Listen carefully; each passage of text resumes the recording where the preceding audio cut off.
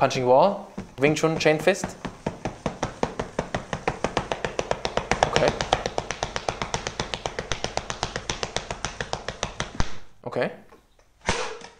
I'm not a fan of Wing Chun. A lot of people ask me, yo, what martial art should I learn? And it always depends on what are you trying to achieve. Wing Chun by itself, I think is really useless, but in combination with other things, I find it pretty good. But in general, if someone says, oh, I want to learn how to fight, I always say, yeah, kickboxing and judo.